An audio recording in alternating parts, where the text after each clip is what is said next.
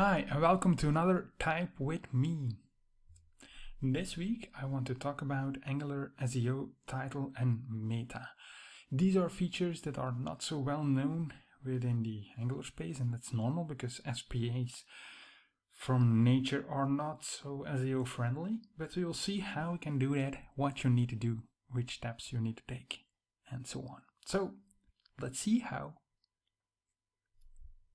So we're going to start off with a new Angular application. I did ng new, new universal, right, which is our application name, and that's how we started. But if you want to have the SEO power, so that your uh, single page application will be indexed within Google uh, or within um, Microsoft Bing, well, then you need to have server-side rendering there, right?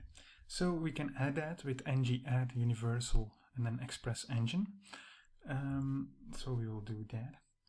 You need to know that um, when you want to deploy this uh, into uh, a cloud environment, for example, you need to have Node.js there, right? So, right, with ng add, you will just add and install all the packages that we need to make a server-side rendering app out of that. Then I will show you how you can start your application and then we will we will start with creating our first page there and then we will add a title and of course also the metadata there. Alright, this is great. So to start your Angular server-side application you need to do def ssr to just run for example express and then have that up and running to go to the browser and have also server-side rendering on your local PC. So here we are. You see here that we directly get an error or some kind of warning that we don't we, we can't use this into uh, production right? It's a simple uh, server. It's just for testing and uh, debugging debugging purposes. Like I said before you just need to have a Node.js um, environment running in production. And that's all you need.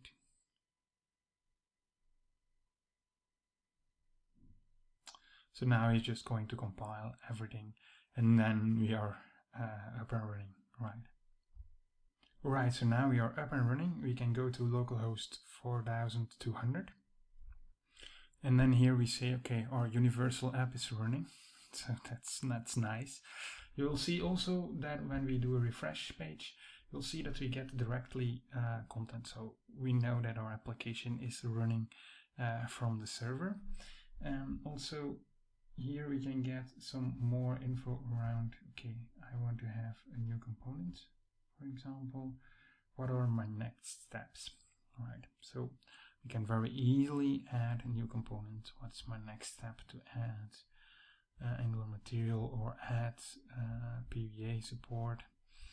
So this is all great, but okay, let's go and create something awesome out of this, right? To have multiple pages. So I will put here uh, menu items on the top and then we'll have just some pages with some dummy content into it, right?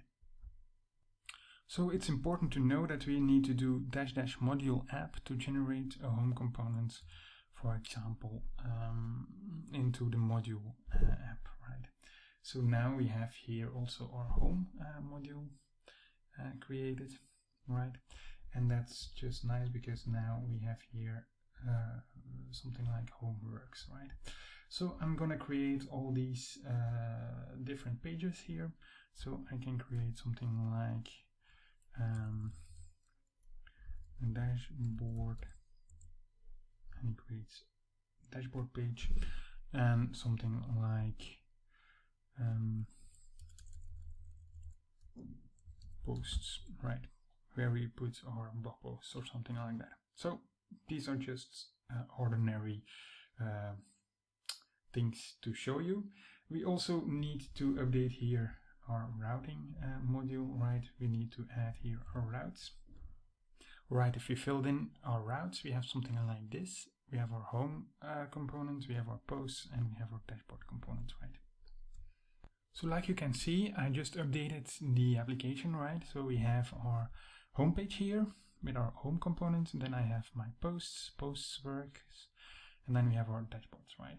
But if you see here, we still have the same title. We have the same title universal. If you go to posts, we have still universal. And when we go to dashboard, we have still uh, dashboards, right? Also, if I refresh the page here, you will see that we still have this uh, title right here, universal. And this is really pity, but we can very easily solve that. So let me show you how we can do that. So now in our homepage components, we can very easily do private title title, right? We can import this one. It's from the platform browser. And then here we can do this dot title dot, and we can do get title to see what the title is, the current title is. But we can also do set title. And then we do welcome to the home page. So I also did it for um, the dashboard component. I put it dashboard in the title. I also did that for the posts component. I did posts uh, there. Yeah, I, I set the, the title posts there. And so now we can see how this looks like within the browser. So with dashboard works, we get here the title dashboards. Also, when we go to posts, you will see that we will get posts work if you go to homepage, you will see that we have welcome to the homepage. Even if you don't have universal application, it's very great for your end users that you just set the title. You can do something like your application name and then dash and then the section where your user is, right? And that's that's even an, a, very good thing. So I, I really recommend to use title. It's uh, a very unknown uh, item of Angular, but it's it's great to do so. Also from a user experience point of view. All right, so the next thing that we need to do, right? So I'm, I'm, I'm just going to uh, do inspect. You will see here that we will have our uh, title, welcome to the homepage. But we also want to set some uh, meta tags here, right? So it would be great to do that as well. So another great service to use here is the meta tag service. So what we could do here is in our app components add a constructor, right? And then we can add meta tag service there, which is meta. It's also imported from the Angular platform browser, uh, right? All right. And of course, I also want to have implements OnInit. So I say here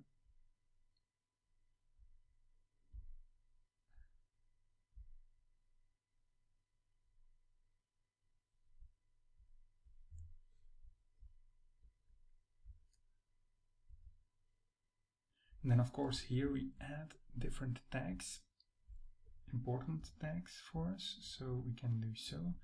I just say, okay, these are these are keywords. This is the author, the viewport, the date, of course, um, the character set. So we can all set them right here. So if we go now to the browser, you will see here that we have our keywords, robots, author, date which is great. That's what we wanted. So we have it there. It's something that you can put just globally, right? Where we put it there within our app Dot component, but you can also put it on a certain specific page. And that's what we're going to do right now.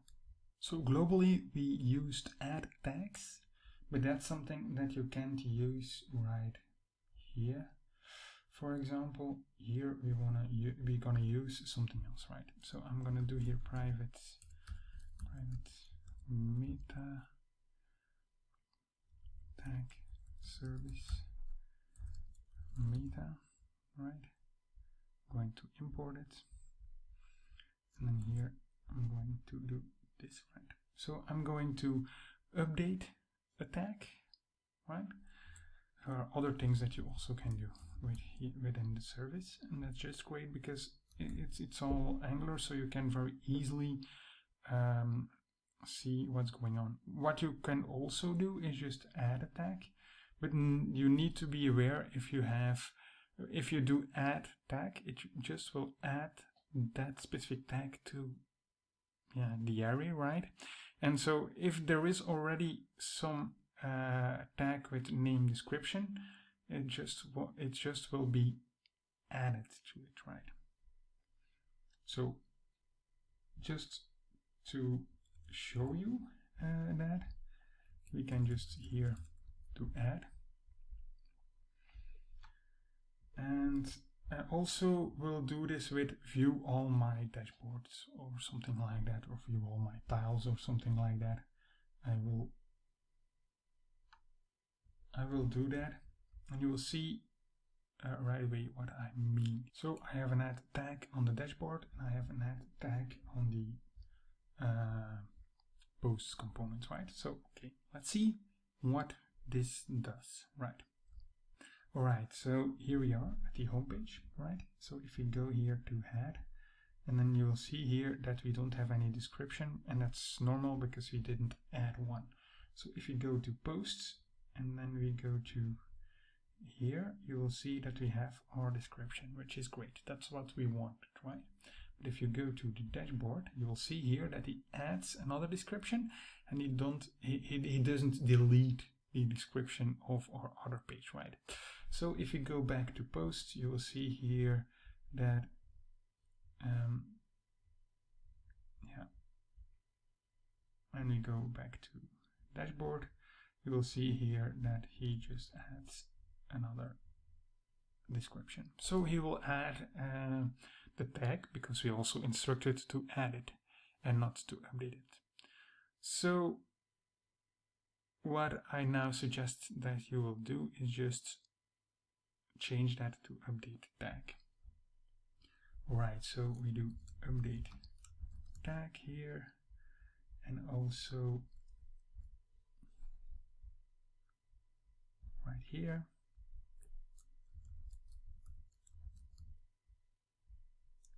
I'm just going to save it and we're going to see how this will behave within our application. Alright, so now we are at our homepage, right? We don't have any description right here. And then when we go to posts you'll see that you'll update or tag with view all my posts. And with the dashboard you will do so as well. So with posts and dashboard. If you go back to your homepage, you will see that he still has the description tag right there so be aware when you just works when you just work with the the meta tag uh, service that um, you need to really know what you're doing, how you're doing things. Uh, it's it's very easy to make some kind of small mistakes there, but overall, it's very nice to just add some meta tag and some um, some some titles there. So one last big thing, the canonical service, right? We want to set a canonical URL. Why do we want to set a canonical URL? Well, we want to set a canonical URL to uh, say to the uh, bot of Google or Microsoft Bing or the yeah the search engine bot what the uh, exact URL is. So to remove duplicates, content, and so on. If you have duplicate content, you can be penal, uh, you can get penalties, right? Uh, from from Google, and you will be lower ranked. So we want to avoid that and you can very easily do that by just uh, implementing a set canonical URL. If you have a URL, you just uh, use that. If you don't provide a URL, you can do this.dom.url, right, from the document. And then, of course, we can just create a link, which rel canonical, and then we add our link, and then we set our href to can URL, right? So because it's uh, injectable provided in root, we can very easily use that. I'm going to use it uh, in, for example, my posts. So here I'm going to say private canonical service.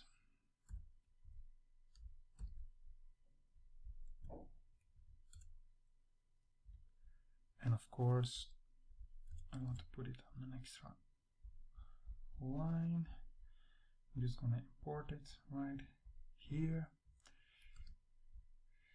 And then here I can do this dot canonical service set canonical URL. I'm going to save it and now we're going to see how this looks like within the posts uh, page. Alright, so here we are at the home page. And again, if we go to posts, you will see that we have updated our description and we have here our canonical, which is slash posts. So that's great. So whenever uh, a bot visits slash posts, he knows that it's slash posts, right? Um, so that's it. I hope you enjoyed it. I hope you learned something from it. Just use meta tags, play around with it. Uh, use the title uh, also. It's also a great feature. Also when SEO is less important for me, it's a very important feature within Angular itself. And not a lot of you are using that. So if you like this, please give it a like uh, and subscribe to my channel.